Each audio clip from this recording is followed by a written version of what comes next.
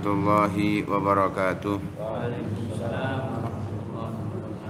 بسم الله والحمد لله والصلاة والسلام على رسول الله سيدنا مولانا محمد بن عبد الله وعلى آله وصحبه ومن والاه ولا حول ولا قوة إلا بالله. سبحان الله الحمد لله ولا إله إلا الله الله أكبر ولا حول ولا قوة إلا بالله العلي العظيم. عدد كل حرف. كتب أو يكتب أبد الآبدين ودهر الداهرين. سبحانك لا علم لنا إلا ما علمتنا إنك أنت العليم الحكيم. نوينا التعلم والتعليم والنفع والانتفاع والمذاكرة والتذكير والإفادة والاستفادة والحث على التمسك بكتاب الله وسنة رسوله والدعاء إلى الهدى والدلالة على الخير. ابتغاء وجه الله ومرضاته وقربه وثوابه سبحانه وتعالى. Masih di dalam pertanyaan-pertanyaan yang diajukan ayahnya Imam Hasan bin Ali bin Abi Thalib kepada beliau.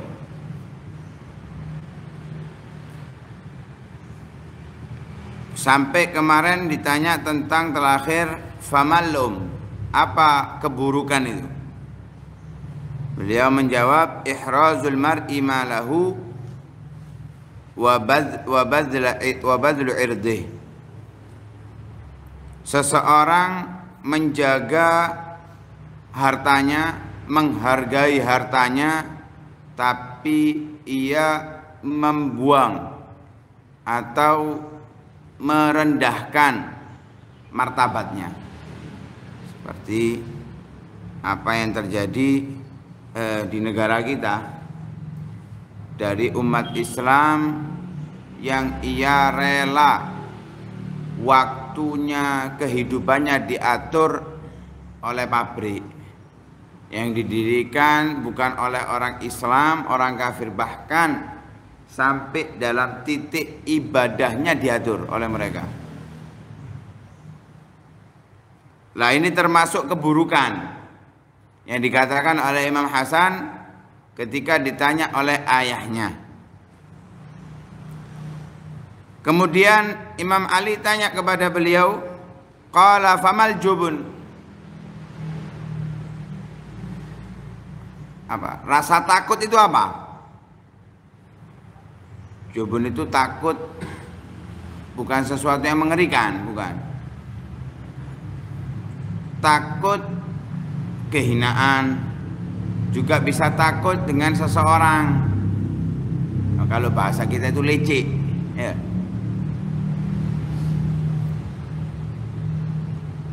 Takut itu adalah al-jur'ah ala sadiq wan nukul anil adu. Ketika berada di kalangan teman-temannya, dia merasa jagoan. Tapi ketika berhadapan dengan musuh? Apa? Ketakutan, apa bahasa kita biasa itu? Ciut. Ngedepi musuh langsung ciut. Ketika di hadapan teman, sok berani. Ya, ini eh, seperti lawan sifatnya sahabat Nabi Shallallahu Alaihi Wasallam. Asyidda alal kufar. Ya. Ruhama bainahum.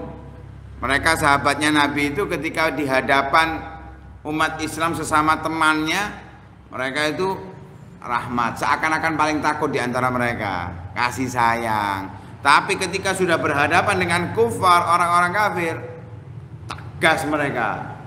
Tampak dari wajah mereka itu keberanian yang sangat luar biasa. Lah orang yang leceh itu ketika di hadapan temannya sok jagoan, sok berani. Ketika di hadapan musuh ciut. Langsung nyalinya itu nggak ada apa-apanya, seperti kerupuk disiram air. Ya, bukan hanya melempem, habis tanpa dimakan. Lah itu apa yang dikatakan takut. Jadi bukan takut jin ya, jubun itu bukan takut jin, bukan ya. Takut jin itu bukan jubun. Perempuan itu ya, bukan laki. Kalau jubun itu benar-benar takut kepada musuh tapi berani kepada teman. Lah itu yang dimintai oleh Rasul Shallallahu Alaihi Wasallam perlindungan dari dirinya. Ya, seperti yang ada di dalam berdul berdul latif. Qala famal ghina. Imam Ali kemudian bertanya kembali kepada Imam Hasan. Kaya itu gimana sih? Kalau kita perhitungan kaya itu keuangan, gak punya utang, rumah mewah, mobil banyak, setiap apa yang kita inginkan kita dapatkan. Ya, itu kaya menurut kita. Tapi menurut Imam Hasan persis dengan apa yang dikatakan oleh Rasul Shallallahu Alaihi Wasallam dalam hadisnya. Kalau Rasulullah itu mengatakan innal ghina Ghinan nafas. Orang kaya itu ketika jiwanya merasa cukup dengan apa yang diberikan oleh Allah. Imam Hasan memberikan jawaban dari pertanyaannya Imam Ali dengan makna yang diberikan oleh Rasul Shallallahu Alaihi Wasallam. Kaya itu ridha nafsi bima Allahu laha wa in. Nafsu kita, hati kita, diri kita puas dengan apa yang diberikan oleh Allah Subhanahu wa taala walaupun sedikit. Walaupun sedikit disebutkan wa in qalla walaupun sedikit. Kita puas dengan pemberian Allah itu kaya. Ada orang rumahnya besar, mobil banyak, tapi dia masih ngejar yang lain, nyari yang lain. Bukan hanya sekedar ngejar, tapi ngoyo. Ini orang paling fakirnya seseorang. Kenapa? Dalam dirinya ada rasa takut miskin. Atau dalam dirinya merasa tidak puas dengan apa yang diberikan oleh Allah, ngejar-ngejar terus. Ada orang punya hanya makanan secukupnya, mungkin hanya sehari dua hari. Tapi dia bekerja apa adanya, sekedar ikhtiar, pulang bersyukur kepada Allah, puas dengan apa yang diberikan oleh Allah. Ini orang kaya. Orang yang kaya itu pandangannya hanya hidup sebentar sehingga yang dibutuhkan dia merasa cukup selesai dan itu yang dilakukan oleh ulama-ulama terdahulu. Bahkan bukan hanya ulamanya kebanyakan orang-orang dulu seperti itu. Kerja hanya sebatas keperluan ibarat kalau gay kulaan wis ono batine itu selesai kerjanya selesai. Lanjut besok besok ada lagi. Sekarang kan enggak? Terus ditumpuk. Ditumpuk-tumpuk terus dikejar. Seperti apa yang dikatakan oleh Rasulullah Shallallahu Alaihi Wasallam ketika seseorang itu punya satu kepingin dua, punya dua kepingin tiga, seterusnya demikian. Tapi ujung-ujungnya tidak ada yang bisa memenuhi dia kecuali aturob, kuburan. Akhir-akhirnya adalah mati tidak membawa apa pun kecuali kita ditumpuhi oleh tanah. Nah itu uh, kaya yang di, dimaksud oleh Rasul Shallallahu Alaihi Wasallam dan yang dimaksud oleh Imam Hasan bin Abi Thalib bin Ali bin Abi Thalib. Qala famal ilm Tanya lagi beliau oleh Imam Ali. Apa itu kebijaksanaan? Orang itu bagaimana bisa dikatakan bijaksana? Dengan sifat apa orang itu bisa dikatakan bijaksana? Beliau menjawab kadmul ghaid wa milkun nafs. Dia bisa mengendalikan amarahnya juga bisa menguasai dirinya. Orang yang bijaksana itu ketika dibuat marah nggak langsung marah ngeliat diatur emosinya. Amarahnya ini nggak langsung meludak tapi lihat kondisinya, situasinya. Kalau memang dibutuhkan dikeluarkan, dikeluarkan itu pun hanya sebatas ukurannya. Lihat Rasul Shallallahu Alaihi Wasallam yang dijuluki dengan Sayyid, ya, panggilan Sayyid layak. Yang makna Sayyid di antaranya adalah Al Halim alladzi la yastafizuhul ghadab. Orang yang bijaksana yang tidak terpancing oleh kemarahan.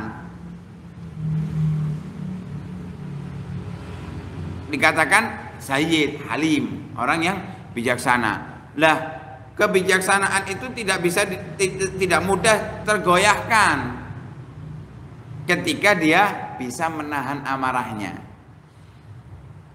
ketika pribadi Rasulullah Shallallahu Alaihi Wasallam yang diganggu, yang di yang di uh, apa salai, yang dilukai, apa yang dilakukan oleh Rasulullah? Bahkan ditawarkan oleh malaikat Jibril untuk menghampit mereka orang-orang Taif. Apa yang dikatakan oleh Rasulullah? Allah mahdi qaumi fa innahum la ya'lamun. Kenapa? Pribadi. Enggak marah Rasulullah, bukan pada tempatnya marah untuk pribadi. Bahkan Rasulullah mengatakan justru aku berharap dari anak turun mereka akan memeluk agama Islam. Kenapa? Orang yang bijaksana. Kalau kita, kalau pribadi kita yang disalahi, wah langsung. Coba agama Islam yang dimarahi, yang dimas yang disalahi bungkam, takut. Walaupun ekspresi untuk marah nggak semuanya sama. Justru marah itu harus dikondisikan, bukan kalau marah keluar kata-kata kotor enggak itu nggak bijaksana pada tempatnya.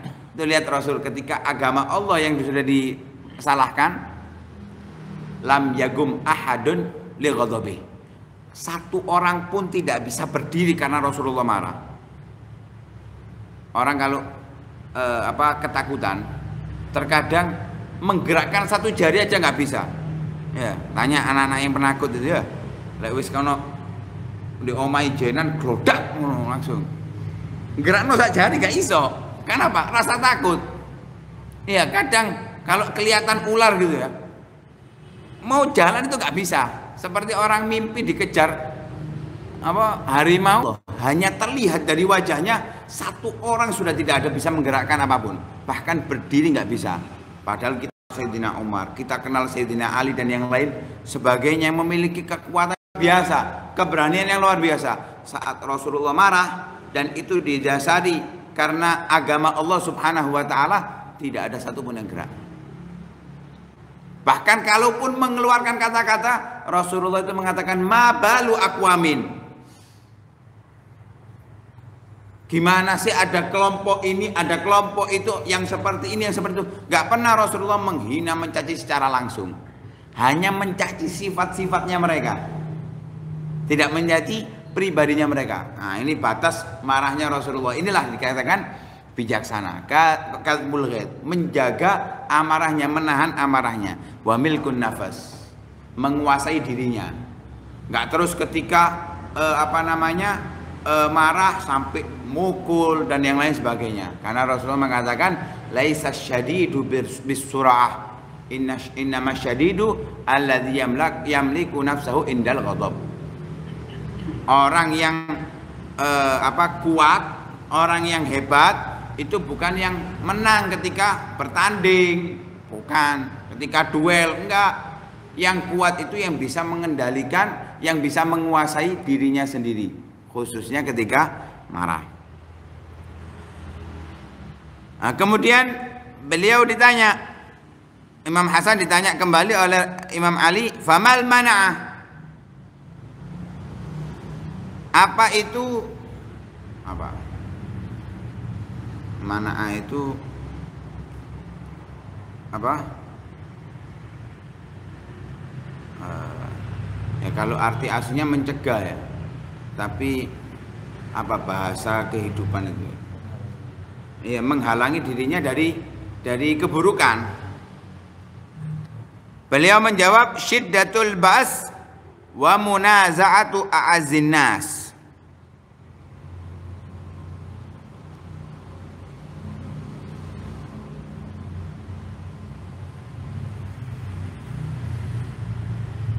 uh, enggak mana itu yang bisa menghalangi seseorang dari kebaikan? Apa sesuatu apa kebu apa e, hal yang bisa menghalangi seseorang dari kebaikan? Yaitu syiddatul bas. Dia berlaku sangat buruk. Wa munazaat wa munazaatu azinnas dan dia e, menentang atau berlawanan dengan orang yang paling mulia orang yang terhormat jadi eh, seakan-akan ingin berkuasa nah itu dia mencegah dirinya dari kebaikan hal yang dapat mencegah seseorang dari kebaikan ketika dia ingin menjadi yang termulia. Bukan sifatnya orang yang hebat. Bukan sifatnya orang yang mulia. Orang yang mulia itu sifatnya kepingin selalu berada di bawah. Selalu merasa rendah. Tidak ingin menjadi yang terhebat. Kemudian beliau ditanya, "Famadzul?" Apa itu kehinaan? Imam Hasan menjawab, "Al-faza'u inda sadmah."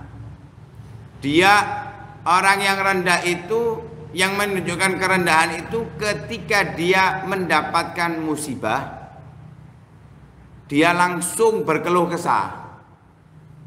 Ya. Karena itu pernah terjadi di zaman Rasul Shallallahu alaihi wasallam ada perempuan yang nangis-nangis di kuburan. Ya. Ketika itu Rasulullah mengatakan sabar, sabar, dia menjawab, ngomel, kamu nggak merasakan dan lain sebagainya. Akhirnya dikasih tahu itu orang bahwa yang mengatakan tadi Rasulullah. Akhirnya minta maaf. Ya sekarang saya sabar. Katanya Rasulullah as-sabru inda sadmatil ula. Sabar itu ketika di pertama kejadian. Misal ini gampangannya, gampangannya ya seperti beberapa dua tahun yang lalu, apa tahun yang lalu, dua tahun yang lalu insya. Dua harus ditabrak, ambil munting, guling-guling ya. Langsung, Alhamdulillah, sabarlah itu asabru indah sadmatul ula tapi lek kamu disik matamu gak delok ah. Wah ini gak sabar ini. Ya ini bukan kemuliaan ini zul. Tapi ketika langsung sabar apalagi sampai memaafkan justru tambah ganti rugi. Padahal dia ditabrak ya ganti rugi. Nah itu kemuliaan. Kebalikannya ya sabar namanya. Tapi tabrak dor ngamuk disik. Nah ini bukan bukan apa iz tapi dia zul. Melakukan perbuatan yang menghinakan dirinya. Apalagi wis ngamuk-ngamuk dikei duit meneng moroan. Wah tambah hina ini ya beberapa hari yang lalu. Ditabrak ngomel-ngomel. Dikei duit langsung meneng. Langsung sehat langsungan. Wah zul ini hina. Itu dia menghinakan dirinya sendiri